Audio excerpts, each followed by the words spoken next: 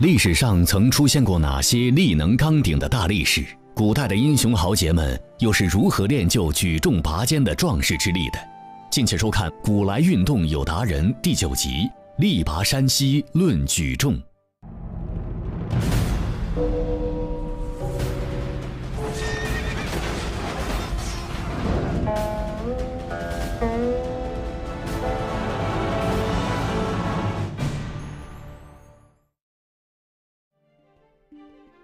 举重拔尖，壮士之力也。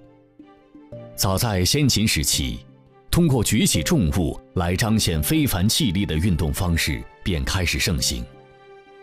在生产资料相对原始的古代社会，特别是在一些战火频仍的特殊时期，强健的体魄可以说是人们安身立命的重要保障。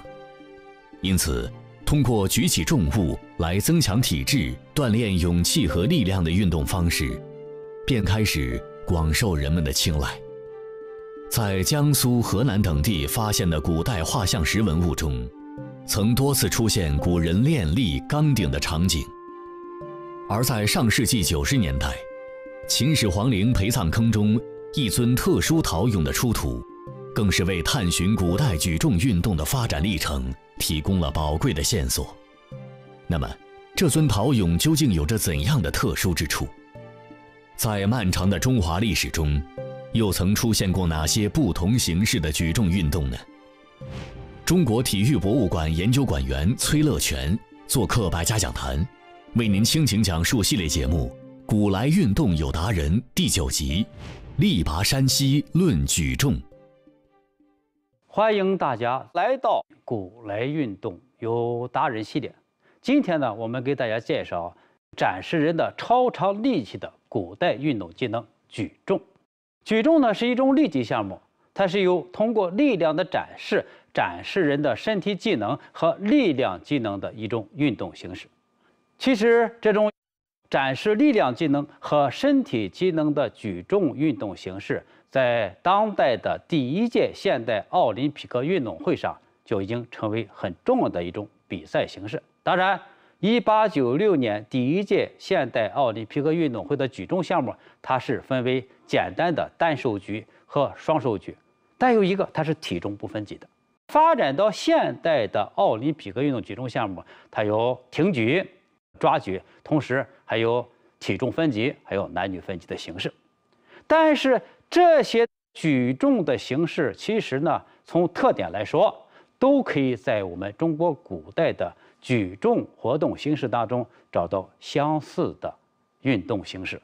一九九九年，考古工作者呢，在陕西西安秦始皇陵发现了一座陪葬坑。这座陪葬坑呢，出土了十一件陶俑，考古工作者呢，把它叫做百戏俑。但是在这十一件陶俑里边呢，经过后来的专家的研究，有表现摔跤的，还有表现杂技的顶杆者，特别是有一件呢，腹部骨头，臀部后撅，体格健壮，这个到底是个什么呢？它代表了一个什么呢？一块出土呢，还有一件是青铜鼎，是圆形的三足两耳青铜鼎，重达二百一十二公斤。后来的体育史学家就研究了。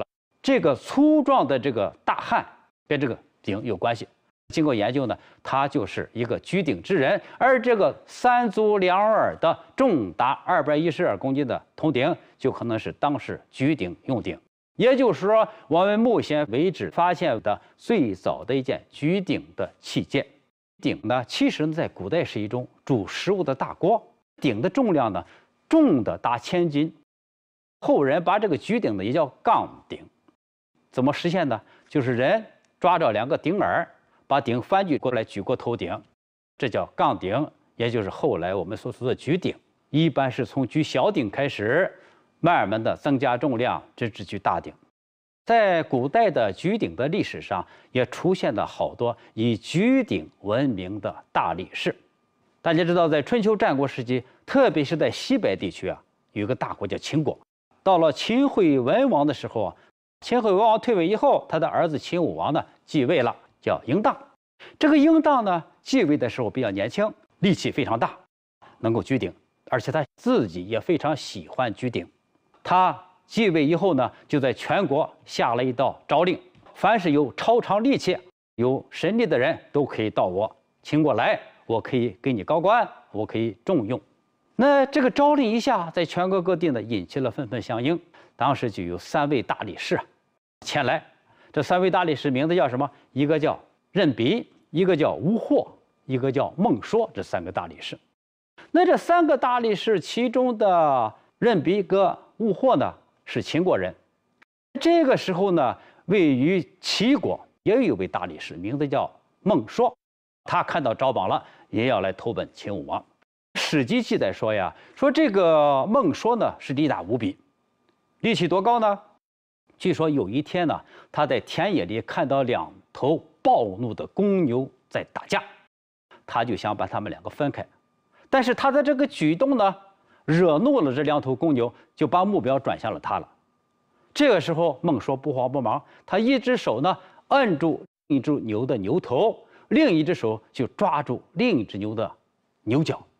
在僵持当中，最后发生了什么情况？这个孟说竟然硬生生的把这只牛的牛角给掰了下来，所以说这个力气是非常大的。所以孟说跟任弼和吴霍投奔到秦武王身边来，秦武王非常高兴。文献记载说，任弼、吴霍、孟说皆至大官，秦武王对他们重用，为秦国来效力。公元前三百零七年。秦武王呢，就在孟说跟任弼两位大理士的陪同下呢，到东周的洛邑去朝见周天子。他就听说这个当时有名的九鼎啊，就存放在洛邑，临时决定先去观战这九鼎，然后再去朝见周天子。他们就来到了这个大鼎前。这个大鼎呢，据说是夏朝的建立者大禹所铸。大禹铸好了以后，后来下传于商，商传于周，后来就移到这个都城洛邑，给保存了起来。这个九鼎呢，上边呢，它分别是代表了荆、梁、雍、豫、徐、阳、青、燕、冀这九个地方，也就是什么，代表了全国的山川风物。同时呢，这个鼎的耳部和足部都铸有龙纹。那个秦武王来到九鼎旁边以后，大吃一惊啊！第一次见，非常高兴。他又站在代表秦国永州的这个神鼎前，就感慨地说：“为什么这个代表我们秦国的这个宝鼎不能在我们秦国呢？说谁能够把它搬到我们秦国首都咸阳？”这个时候，看守这个宝鼎的小吏就说了：“说这个鼎啊，自打移到这儿来啊，没有人能够动到它，因为它叫千钧鼎。”有一千斤之重，秦武王听到这个管鼎的小吏说，就非常不高兴，他就瞧了一下任弼跟吴获两位大力士一眼，说：“二位力士神力全国有名，这个大鼎能举起否？”这个时候呢，看似粗鲁的任弼呢就发话了，他说：“这个千斤之鼎非人力所为，为什么？他知道。”秦武王的性情烈，说大王啊举这个鼎不合适。这个时候，来自齐国的大力士孟说不肖的看了任弼一眼，说：“千钧之鼎难挡我。”他自己径直跑到大鼎前，双手抓住鼎耳，大喝一声“起”，要想把这个大鼎举起来。但是这个大鼎金立地半升，就重重的砸在了地下。这个时候，你再看一下孟说，因为用力太猛，两个眼睛眶里都蹦出了鲜血。也就是说，没有成功，只是举起立地半尺。秦武王呢一看，非常不服，说：“你既然举不起来，我来试试。”那这个时候，任弼又说了：“说大王万圣之躯，千万不可。”但到了这个时候，秦武王根本就听不进去，来到大鼎前，两手抓起鼎耳。屏住呼吸，大喝一声：“起！”这个鼎呢，真的给搬离了立地半分。这个时候，秦王真高兴的，我搬起来了，我要再走动几步，我就会战胜你。孟说了，就在这个时候，他就说立失了，手滑，鼎一下子掉到地上了。这一掉到地上不要紧，一只鼎足实实的砸在了他的腿上。只听咔嚓一声，秦王的髌骨被生生的压断。那这个时候，这些卫士们害怕了，赶快把秦王送到廷苏的公馆。但是那个时候啊，因为髌骨被压断，流血过多，秦武王呢最后疼痛难忍，到了半夜，气绝身亡，二十三岁。这个司马迁在《史记》里边就这样记载说：“王于孟说举鼎，绝鞭。八月，武王死，卒孟说。”这个武王举鼎啊，其实他自己的逞强所致，逞强把髌骨压断，流血呢。过多致死，其实他自己的原因，但是秦国人把这个罪过就压在了孟说身上，就处死了他的全家。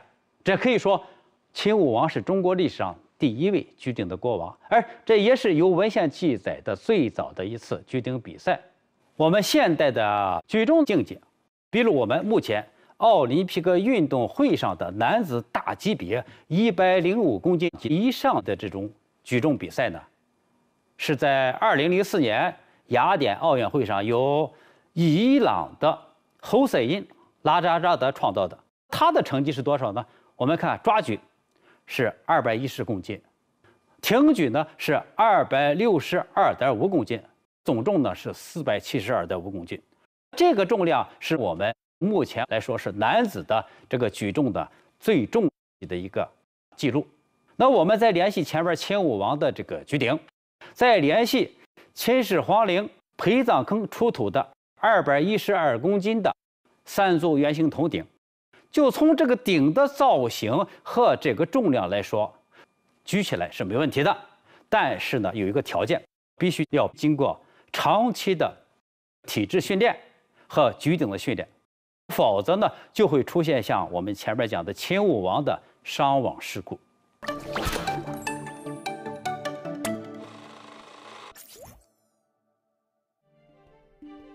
相比于秦武王举鼎绝膑的悲剧，一位以勇力闻名后世的历史人物，却通过举鼎的壮举，树立了自己勇猛无畏的英雄形象。他便是西楚霸王项羽。作为楚国名将项燕的后人，项羽身长八尺，胆识过人，在巨鹿一战以少胜多，大破秦军四十万，被后世誉为。羽之神勇，千古无二。那么，作为力拔山兮的大英雄，在项羽身上究竟发生过怎样的举鼎故事？兴起于先秦时期的翘关运动，又是从怎样的生活实践中演化而来的呢？这个项羽呢，是战国末年出生在今江苏宿迁的一个楚国贵族家庭。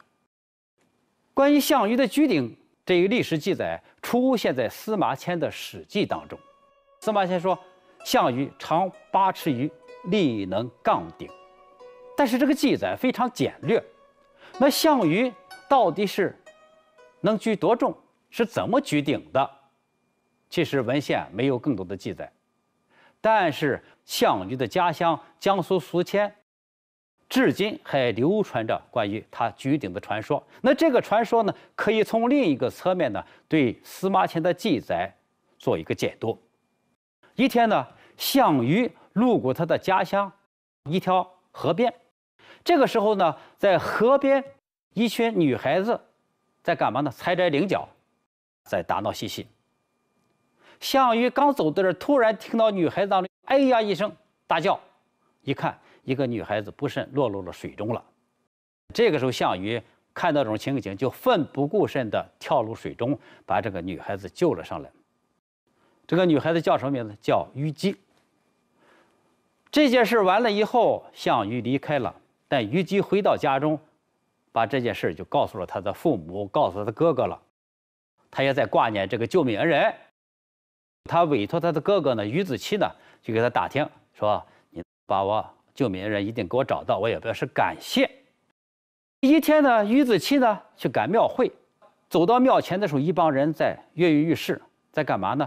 庙里放着一个大铜鼎，好多人呢就想看看谁能把这铜鼎举起来。突然有一个年轻人出现了，他大步来到鼎前，双手抓住鼎儿，把鼎来提了起来。接着又把鼎举过头顶，那他的这一举动令周围的人大吃一惊啊！那小伙子了不得，神力啊！这时候，于子期看到了，就向别人打听，但是一看，特别像他妹妹描述的那个救命恩人。经过打听，确实是，这个人的名字就叫项羽。两个人交谈甚欢，他就把项羽邀请到他的家里做客。这一天呢，项羽来到于子期家里，一进家门口，这个虞姬马上看到，这就是我的救命恩人，四目相对啊，惊喜万分呐。经过征求虞姬的父母的意见，也就择了吉日，让二人完婚了。后来呢，这个于子期啊，就是虞姬的哥哥，就作为一员大将，跟随项羽南征北战。这个虞姬呢，也就完婚以后跟随项羽呢，也在战斗中呢形影相随，嗯嗯哎。但是很可惜的是，最终呢，这位力能杠顶的西楚霸王项羽败给了。起兵于江苏沛县的刘邦，与他的虞姬一同自刎于吴江。但是他们留下的垓下歌，却是千古流传：“力拔山兮气盖世，时不利兮骓不逝，追不逝兮可奈何？虞兮虞兮奈若何？”虽然项羽失败了，但是项羽。西楚霸王举鼎的这个壮举，却激励的一代一代的人。后人只要谈起举重，谈起举鼎，都会想起项羽，想起西楚霸王的这一壮举。其实呢，在我们考古发现的一些资料中，也有举鼎的展示。比如在江苏、在山东、在河南，甚至四川的汉画像石上面，都有许多展示当时练力的。举鼎的比试的一些画面，比如这里我们展示的是一幅在江苏徐州汉画像石博物馆的一幅举重练力画像石。这个画像石呢，上边呢有七位大力士在举重练力的画面，画面的自左至右分别为持刀搏虎、弯腰拔树、肩背猛兽、双手举铜鼎。双手抱鹿以及怀抱大茶壶等等，反映出这一举重方式已经深入了民间。特别是举鼎这一方式的出现，说明它在民间呢已经是非常普遍了。而且另一个方面，普及的同时，它还具有表演性。在当时的百戏节目里边，它是作为一种表演的形式出现的。除了举鼎，还有一种很重要的举重形式，叫做翘冠。我们在春秋末期的著名史书《左传》中，曾经看到有这样一个事实的记载。这件事呢，发生在鲁襄公十年。当时啊，晋国，就和鲁国、曹国和诸国等国家要攻打位于今山东枣庄、台儿庄西南一个叫阜阳城的这个城池，要攻打这儿。当时的阜阳城人呢，想了一个办法，要对付。诸侯国的军队怎么对付呢？当时的阜阳城呢，有一个厚厚的城门，他就想了办法呢。我把城门提起来，让你诸侯国的军队先进来，然后中间我把城门放下，拦腰截断，我要分而歼之。但是诸侯国的军队呢，没有料到这一招，看到城门自动打开了，就鱼贯而入。当部队有一多部分进到阜阳城的时候，突然。阜阳城的士兵把这个城门放下了，一看城门马上要放下，这个时候，一个叫舒良贺的一位壮士，这个舒良贺呢是作为鲁国贵族孟献子的部将来参战的，他一看城门马上就要落下了，马上跨步赶到城门下边，双手紧紧地把即将落下的城门给托住了。这个时候，他赶紧招呼已经进城的士兵赶快退出去。当时的舒良贺这一壮举啊，令周围的人大吃一惊啊！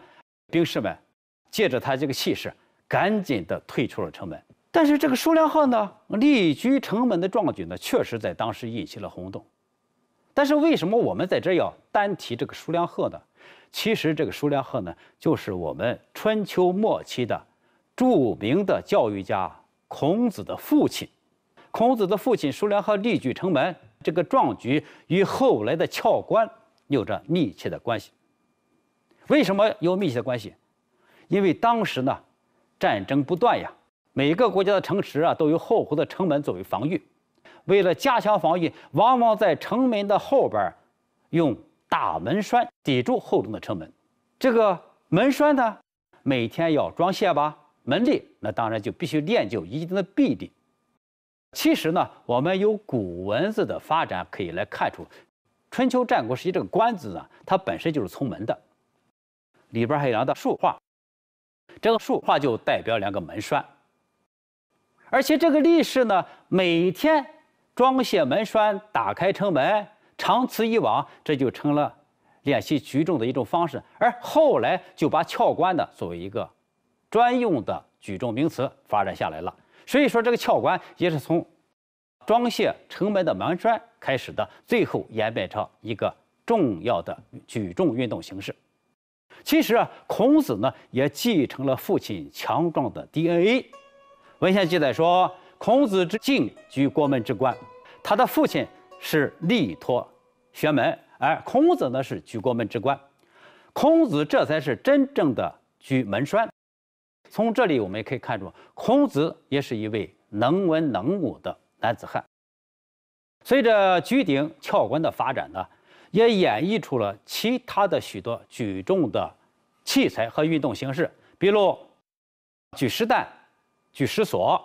举石狮、多举石墩等等的，这都是古代延续下来而且非常普及的举重的运动形式。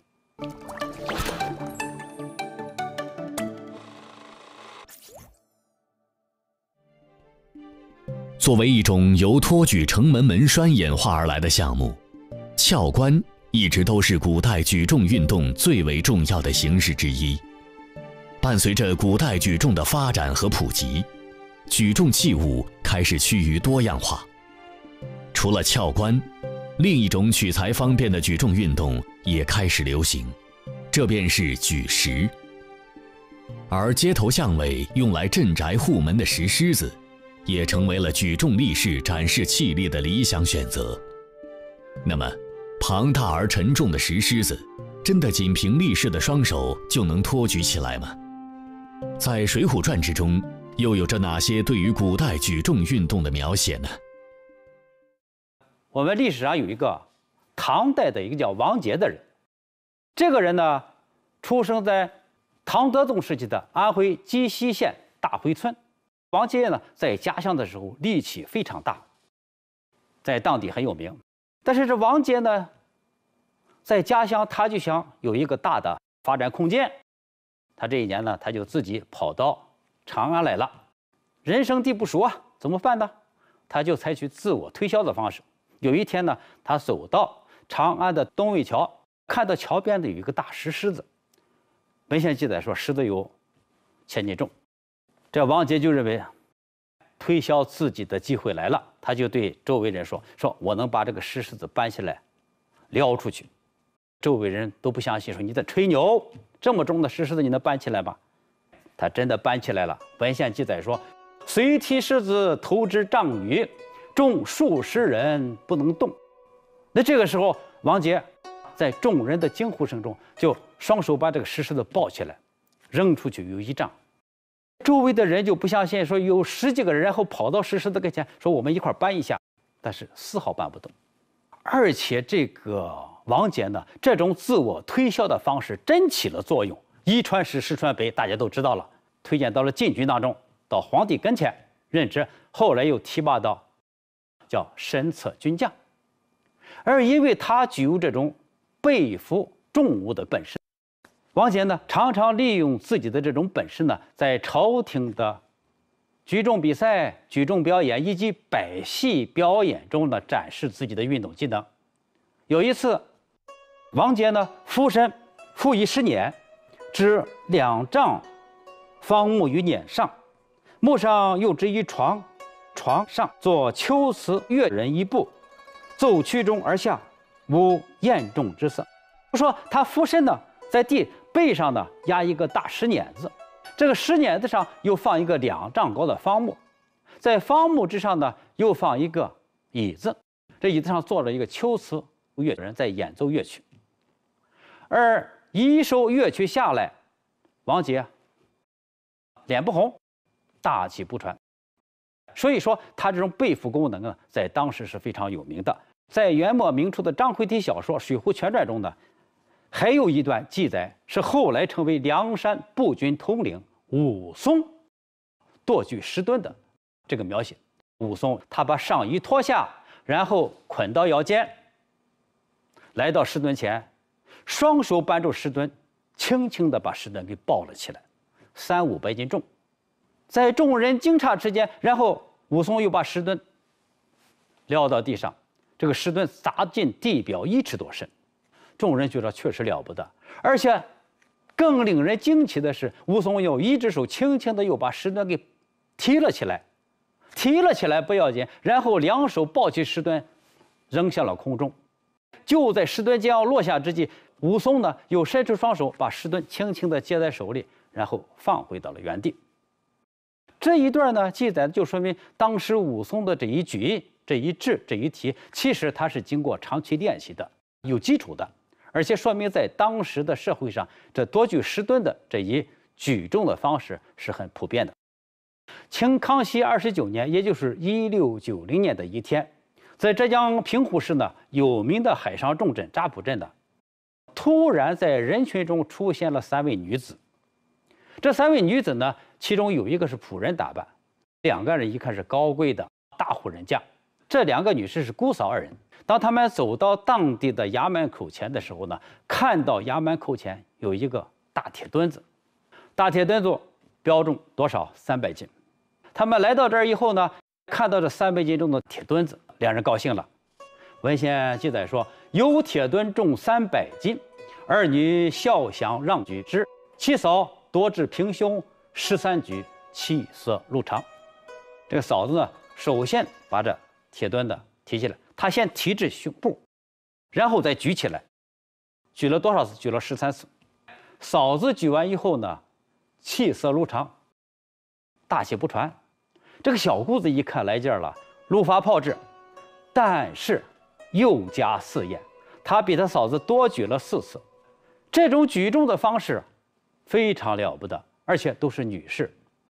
上述不同形式的举重器材和举重明星以及举重方式的出现，反映了当时的举重呢，在社会上已经是常见的运动形式，而且得到了普遍的流行。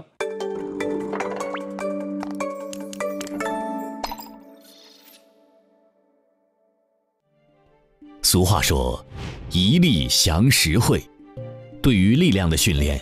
一直是习武之人的必修功课，因此为国家选拔军武人才的武举考试，在设立之初就将最能直观展示力量的举重作为基础的考核标准之一。而随着武举制度的发展，举重运动在器械的规格、抓举的形制上都得到了更为标准的规范。那么，在武举考试中，究竟对举重有着怎样的具体要求？又有哪些人会在武举考试的举重项目中脱颖而出呢？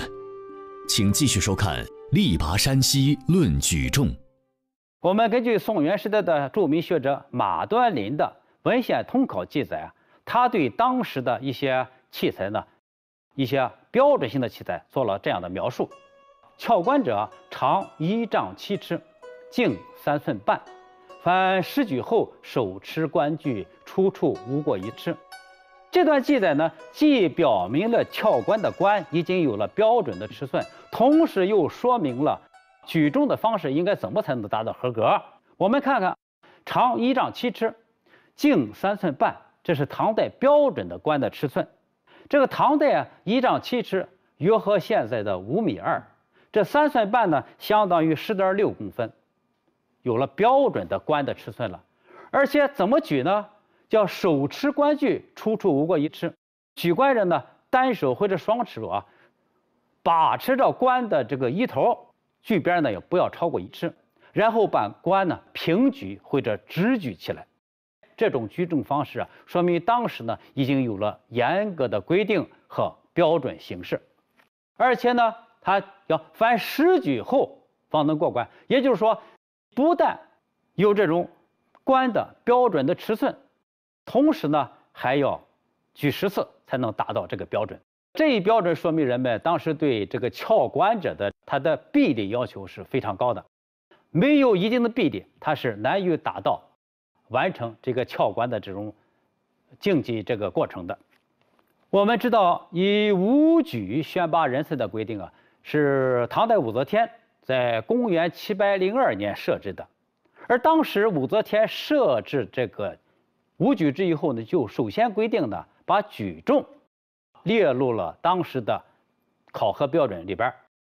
武则天时候列入武举的考核标准一共有九项，哪九项呢？我们再从文献记载来说，《新唐书》里边这么说的：有长垛、马射、步射、平射、统射，又有马枪、翘关、负重、身材之选。其实啊，长舵、马射、步射、平射、统射，全是射箭的几项内容。又有马枪呢，是值得马上技艺。而翘关、负重、身材之选，大家看，实际上都与举重有着密切关系的。这是唐代已经把举重呢作为武举考核的一项重要的标准。所以武人们，你想进入武举考试的行列，你必须除了把射箭这一类掌握，同时还有举重的技巧。而举重里边首选的就是撬关。到了明穆宗朝的一五七零年，对这个武举制的考核。又做了新的规定。当时这个新的条例是怎么规定的？文献记载说，凡天下军民人等，力胜五百斤或四百斤，三百斤以上及武艺超重者，福州县呈送复安，严加考教。什么意思呢？在军队、士兵还有老百姓当中，有这个力气啊，能够举起五百斤，能举起四百斤、三百斤以上的人。都要报送福州县进行备案，将来作为武艺人才的选拔的一个储备。武举制发展到清代，它这种考试就分为内场跟外场。内场呢，一般是默写五经七书一类的这个兵法丛书；那外场呢，当然就是技术考试。技术考试内容啊，其实呢，它还一直延续到明代以来的这个项目设置，一个是射箭。一个是举重，当时清朝的举重的关于这个要求呢，也有记载。一个是刀，一个是剁石，这两种。刀呢有八十斤、一百斤、一百二十斤，那石呢有二百斤、二百五十斤、三百斤。所以说，刀和石它都有各自的重量标准。跟唐代的撬关相比，它的重量标准有了。唐代的时候只有尺寸，没有重量。在明代，特别是到了清代以后，它的重量标准出来了。刀呢，刀比前后胸五花，是什么呢？是刀呢，这个舞动方式有双手举、单手举，还有舞出各种花样。另外呢，剁石呢，剁石比取地一尺，上膝或上胸，最低要提至膝部，甚至与胸平齐，这才能达到标准。所以说，在清代的这个武举考试里边，要有这两种：一种是刀，一种是石，而且都有各自的重量标准和举重的方式。那上述举大刀和剁举十吨的这种举重方式呢，其实是非常科学的，而且跟现在的一些举重方式呢，有着很大的一致性。比如大刀的单手举和双手举。就类似于现代举重当中的抓举和单手推举，而剁石呢，则相当于现在举重项目中的力量举和训练中的硬拉动作。其实啊，到了清代，随着举重运动的发展呢，还出现了许多以力量见长的著名的举重人士。广东梅州五华县黄埔村有一位叫李伟光的大力士。这李伟光呢是当地小有名气，他经过武举考试，经过县试、乡试，进入了会试，最终进入了朝廷的殿试。在殿试之日呢，乾隆皇帝呢就是在亲临现场要定家业。这个李维光上场了。首先，他把重达三百斤的石狮子举过头顶，这引起了人们震惊。为什么震惊呢？因为在过去历届的殿试中，没有人能创造这个记录三百斤。但是，当他举臂石狮子要放到原地的时候，突然之间石狮子一滑，侧翻在地。那这肯定是中长拳的破绽，怎么办呢？这个时候，李维光灵机一动，用脚将石狮子踢出了帐宇。这是一招啊，他弥补了中场前的破绽。那这个时候，乾隆皇帝问了，他说：“这叫啥名堂？”然后李维光灵机一动，说：“叫狮子滚球。”这一新创的名堂让乾隆皇帝呢非常高兴，也当场把他定为武士的冠军。乾隆五十一年，也就是一七八六年，李维光升任南澳总兵。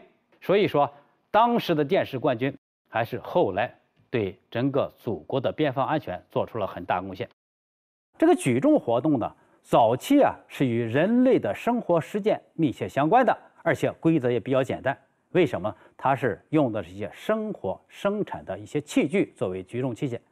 但是经过后期的发展，整个的举重呢越来越规范，在形式上由早期的我们刚才讲了一个举鼎、翘关，发展到后来的举石狮、举石担、举石锁、多举石墩等等各种形式，规范越来越强。在作用上呢，它最早由民间的这种健身形式发展到一种作为一种军事训练。作为一种竞技运动，最后竟然成为什么呢？武举制的一种考核的标准。所以，中国的古代的举重，它在发展过程中，不只是作为一种健身的形式，它同时还是作为一种竞技性，更作为一种选拔武艺人才的形式，在社会上流行。中国古代的举重运动啊，发展到现在，随着它形式的丰富。随着它规则的越来越完善，也成为广大民众锻炼身体的一种方式。特别是在现代奥林匹克运动举重项目越来越普及这种情况下，中国传统的举重与世界的现代举重成为了东西两大举重运动的形式，对人们的影响越来越深刻，对人们的贡献也会越来越大。